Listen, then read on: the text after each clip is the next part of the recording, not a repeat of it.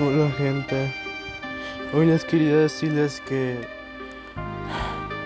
Funk Sila, el mejor youtuber kaiju y creador de músicas funk, ha desaparecido de YouTube.